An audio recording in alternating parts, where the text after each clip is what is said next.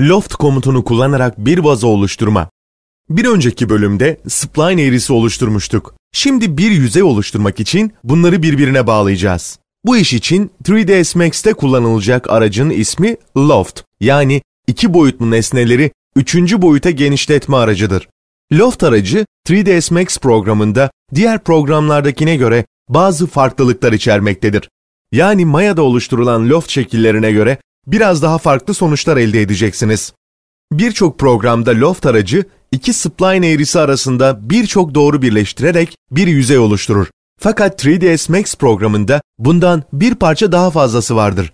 Çünkü 3ds Max'te path yani yolu da göz önünde bulundurmanız gerekir. Onun için bu doğru burada shape yani şekil olarak adlandırılan iki spline eğrisi birleştirirken izlenecek yolu gösterir. Bu yüzden 3ds Max programını kullanırken bir veya daha fazla şeklin olması yanında ayrıca bunların birleşme şeklini gösteren bir de yol doğrusu olması gerekir. Bu durumda bir yolumuz iki adette şeklimiz var. Başlangıç olarak yolu seçin. Create panelinden Geometry yani geometri bölümünü seçin, açılır menü listesinden Compound yani bileşik nesnesi seçeneğini seçin. Burası adından da anlayacağınız gibi içerisinde birçok alt seçenek barındırmaktadır. Daha sonra seçilebilir birkaç seçenek göreceksiniz. Burada loft aracı var.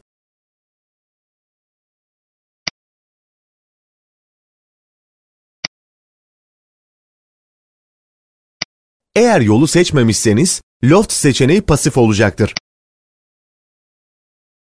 Daha sonra yolu seçip loft butonuna tıklayın.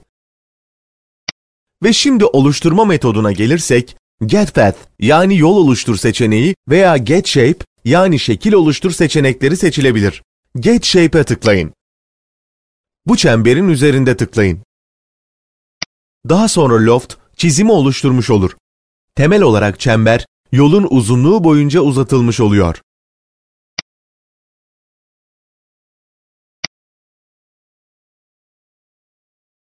Şimdi veya daha sonra diğer şekiller de eklenebilir.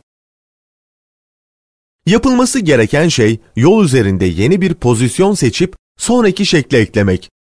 Burada path value yani yol değeri denilen yani yoldan uzaklığı gösteren 0 ile 100 arasında değer alan bir parametre var. Yalnız bilinen türde santimetre cinsinden bir uzaklık değil. Bu yüzdelik bir ifadedir. Bu yüzden eğer bunu higher frame yani tel çerçeve şeklinde görüntülersek görmesi daha kolay olur. Bu yüzden F3 tuşuna basılıp ve higher frame görünümüne geçilir. Bu bölümde küçük sarı bir çarpı işareti görülür. Bu değer değiştirildikçe çarpı işareti de yukarı doğru sürüklenerek hareket eder.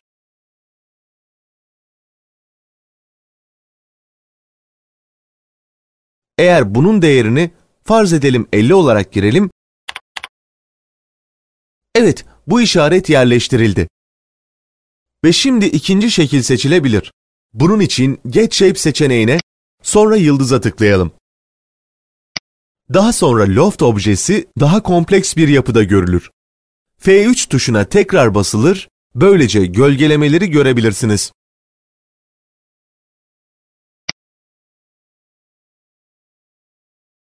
Böylece iki şekle sahip bir loft objesi oluşturmuş olur. Şekiller birbirinin içerisine girmiş veya kutuplaşmış şekilde birbirinden ayrıdır. Loft objesi sıfır yüzde noktasında bir çember olarak başlayacak ve yol boyunca yüzde 50 noktasına kadar yıldıza dönüştüğünü göreceksiniz.